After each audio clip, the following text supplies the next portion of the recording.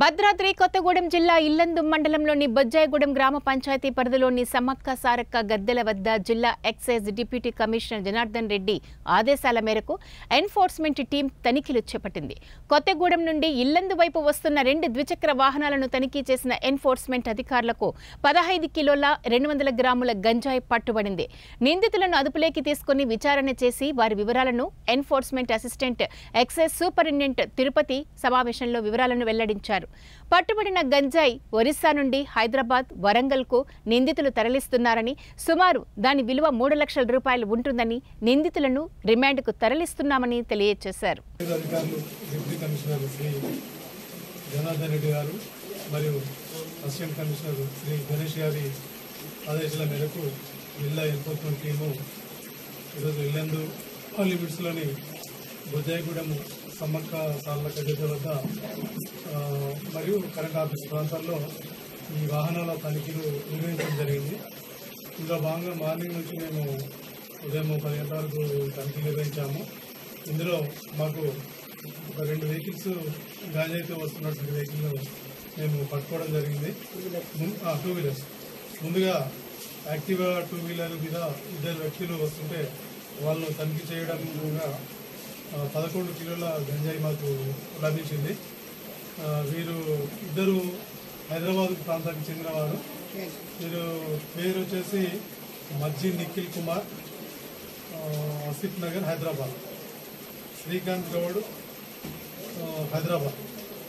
వీళ్ళు యాక్టివా వాహనం మీద ఒరిస్సాకి వెళ్ళి అక్కడ కిలోకి రెండు వేల చొప్పున గంజాయి కొనుగోలు చేసి హైదరాబాద్ ప్రాంతంలో వీళ్ళు పొట్లాలు కట్టి యాభై గ్రాములు వంద గ్రాముల పొట్లాలు కట్టి యాభై గ్రాములకి ఐదు వందలు వంద గ్రాములకు వెయ్యి రూపాయలు చొప్పున విక్రయిస్తామని తెలిపారు.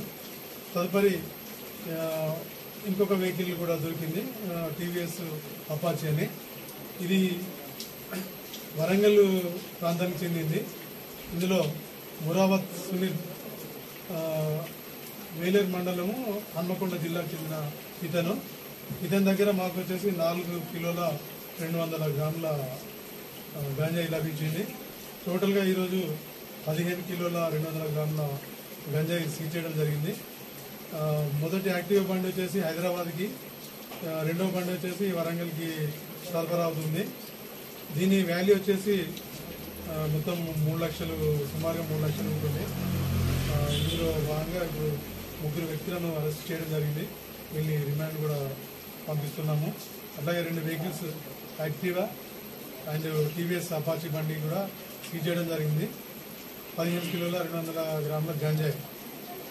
ఈ ఈ కార్యక్రమంలో enforcement inspector Sarveshwar SI Mubasheer Ahmed head constable Karim Balu ఆ, కానిస్టేబుల్ హరీష్ సుధీర్ వెంకట్. ఈ కేసునంతా కూడా మన ఇల్లందు లోకల్ సిఐ గారు రామప్రసాద్ గారికి అప్పచెప్పడం జరుగుతుంది. దీని విచారణ తదుపరి విచారణ అంతా కొనసాగించారు